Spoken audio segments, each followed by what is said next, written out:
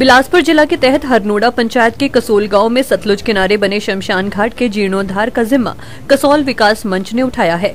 वहीं इसे सतलुज सागर मोक्षधाम का नाम दिया गया है। कसोल विकास मंच के संयोजक प्रकाश चंद ठाकुर ने बताया कि एनटीपीसी प्रबंधन व प्रशासन की अनदेखी के चलते कसोल विकास मंच इस कार्य को जन सहयोग ऐसी कर रहा है। कई बार यहाँ के स्थानीय लोगों को कोल बाँध परियोजना के जल स्तर के बढ़ने व घटने ऐसी शमशान घाट में अंतिम संस्कार करने में मुश्किलें आती थी। लोगों ने कई मरतबा जिला प्रशासन विस्थापित एनटीपीसी प्रबंधन के समक्ष भी सतलुज सागर मोक्षधाम के पुनर्निर्माण की मांग को उठा चुके हैं, लेकिन कोई सकारात्मक कदम नहीं उठाया गया। कार्य कसोल विकास मंच के माध्यम से करवाया जा रहा है। और इस काम को करवाने की ज़रूरत इसलिए पड़ी क्योंकि ये जो यहाँ पे पहले जो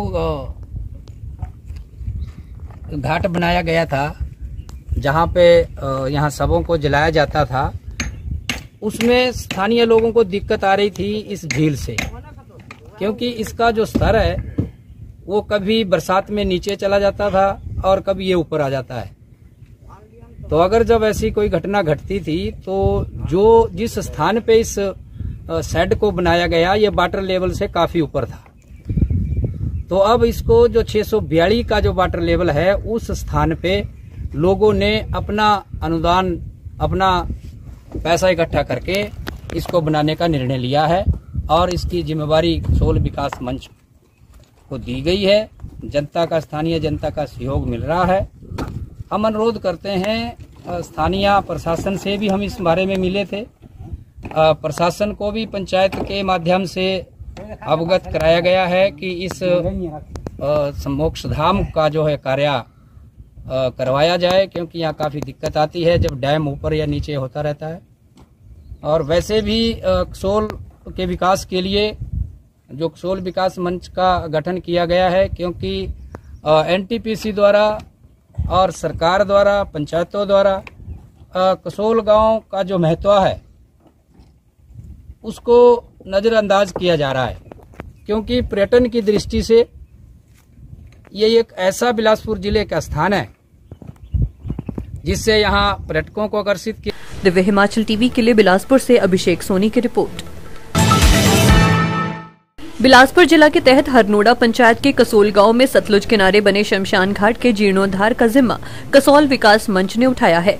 वहीं इसे सतलुज सागर मोक्षधाम का नाम दिया गया है। कसोल विकास मंच के संयोजक प्रकाश चंद ठाकुर ने बताया कि एनटीपीसी प्रबंधन व प्रशासन की अनदेखी के चलते कसोल विकास मंच इस कार्य को जन सहयोग ऐसी कर रहा है। कई बार यहाँ के स्थानीय लोगों को कोल बाँध परियोजना के जल स्तर के बढ़ने व घटने ऐसी शमशान घाट में अंतिम संस्कार करने में मुश्किलें आती थी। लोगों ने कई मरतबा जिला प्रशासन विस्थापित एनटीपीसी प्रबंधन के समक्ष भी सतलुज सागर मोक्षधाम के पुनर्निर्माण की मांग को उठा चुके हैं, लेकिन कोई सकारात्मक कदम नहीं उठाया गया। कार्य कसोल विकास मंच के माध्यम से करवाया जा रहा है। और इस काम को करवाने की ज़रूरत इसलिए पड़ी क्योंकि ये जो यहाँ पे पहले जो घाट बनाया गया था, जहाँ पे यहाँ सबों को जलाया जाता था उसमें स्थानीय लोगों को दिक्कत आ रही थी इस झील से। क्योंकि इसका जो स्तर है, वो कभी बरसात में नीचे चला जाता था और कभी ये ऊपर आ जाता है। तो अगर जब ऐसी कोई घटना घटती थी तो जो जिस स्थान पे इस सेड को बनाया गया, ये वाटर लेवल से काफ़ी ऊपर था। तो अब इसको जो छह सौ बयालीस का जो वाटर लेवल है, उस स्थान पे लोगों ने अपना अनुदान, अपना पैसा इकट्ठा करके इसको बनाने का निर्णय लिया है और इसकी जिम्मेवारी सोल विकास मंच को दी गई है। जनता का, स्थानीय जनता का सहयोग मिल रहा है। हम अनुरोध करते हैं स्थानीय प्रशासन से भी हम इस बारे में मिले थे। प्रशासन को भी पंचायत के माध्यम से अवगत कराया गया है कि इस मोक्ष धाम का जो है कार्य करवाया जाए, क्योंकि यहाँ काफ़ी दिक्कत आती है जब डैम ऊपर या नीचे होता रहता है। और वैसे भी सोल के विकास के लिए, जो सोल विकास मंच का गठन किया गया है, क्योंकि एनटीपीसी द्वारा और सरकार द्वारा, पंचायतों द्वारा कसोल गाँव का जो महत्व है, उसको नज़रअंदाज किया जा रहा है।